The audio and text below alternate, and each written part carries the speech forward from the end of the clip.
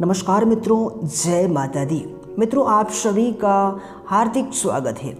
मित्रों, दैनिक राशिफल की बात करने जा रहे हैं।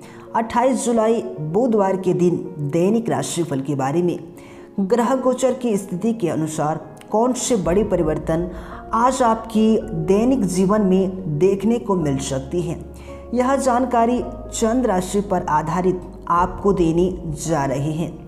मित्रों, आज का दिन किस तरह से प्लान करें ताकि दिन खास बने?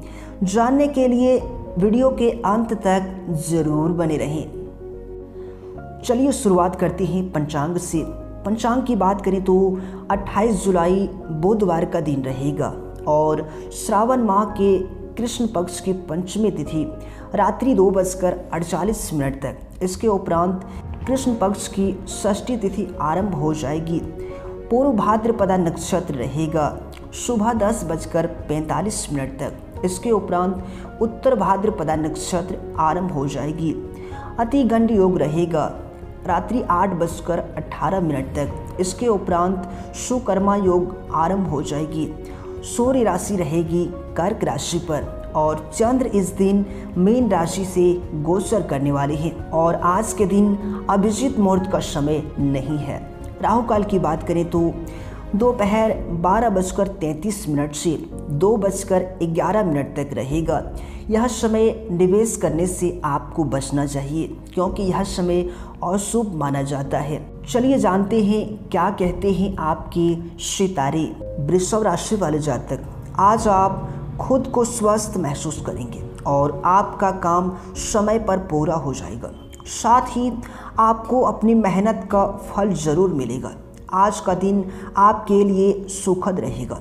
वृषभ राशि वाले जातक, किसी नए संपर्क से आपको लाभ होगा और कुछ लोगों को आपकी उदारता पसंद आएगी।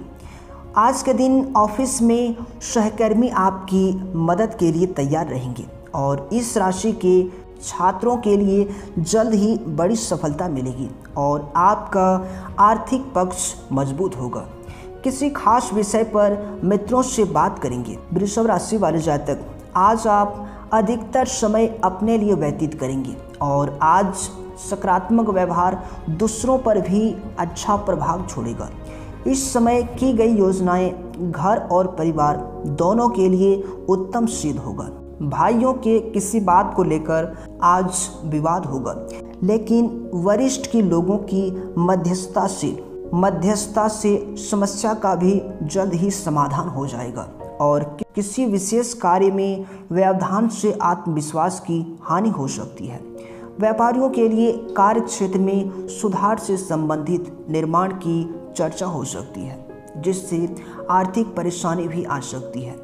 युवा अपने करियर को लेकर जागरूक रहेंगे और नौकरी में अपने प्रोजेक्ट को पूरा करने के लिए आपको उच्च अधिकारियों का भी सहयोग मिलेगा।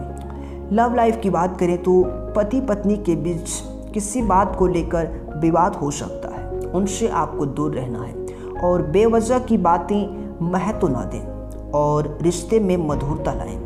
स्वास्थ्य की बात करें तो भूख न लगना और अपच की शिकायत रहेगी। आयुर्वेदिक दवाइयाँ लें। मित्रों, अगर आप भगवान श्री गणेश जी का सच्चे भक्त हैं और उनका सीधा आशीर्वाद प्राप्त करना चाहते हैं तो वीडियो को लाइक ज़रूर कर दें। साथ ही सच्चे मन से कमेंट बॉक्स में जय गणेश अवश्य लिख दें। धन्यवाद। दिन आपका शुभ रहे।